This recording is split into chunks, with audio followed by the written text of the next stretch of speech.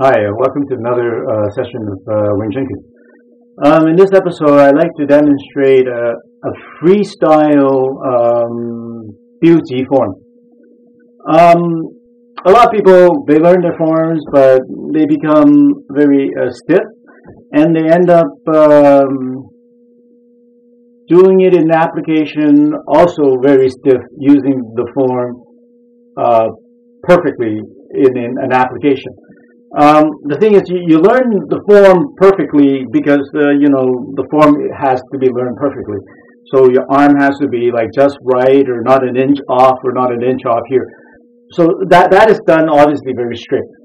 But once you learn the form and you memorize it already, then in practice you're not supposed to do the form exactly when you do it in practice. You're you know everything that you do doesn't have to be perfect because because if you understand already the, the concept behind the form, then you don't need to apply it uh, perfectly as long as it works.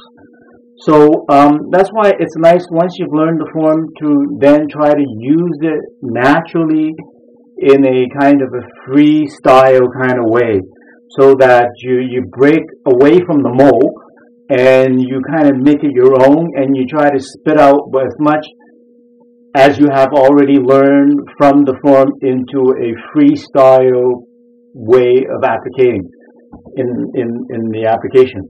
Um, the, um, the PUG form is not really the deadliest. It's actually a form that you should use um, when you are losing. And it's also uh, a form uh, for you to practice as there were as if there were multiple attackers, uh, except for coming from behind uh, you are supposed to have uh, you know a wall behind you, and the form lets you practice somebody fighting from here, here, and from in front of you. So um, um, they tend to, in the old days, uh, teach you only this form when you're leaving the school. Uh, not because that it's deadliest, but it's because something that will save you, because you would be losing, so you have no choice but to resort to eye gouging, and you have no choice but somebody push you up against the wall that you can use this to get rid of them and then you can use your elbows to protect yourself in very close quarter because uh, your elbows are one of your strongest weapons as well as uh, when you turn this side someone's attacking you you want to turn with this hand leading the way to sweep away whatever punches uh, coming uh, this way so that then you can punch and then as soon as you, you've done that someone's you know, you've got to imagine someone's attacking you from this this this way. So as soon as you go like this, you have to shift, and then this hand has to be forward again. As soon as this hand sweeps, then this hand punches. So that's why we have a lot of these things in uh, in Biu Tze, as well as once you've you know established some kind of offense on the side, someone then's going to come back to hit you from the center.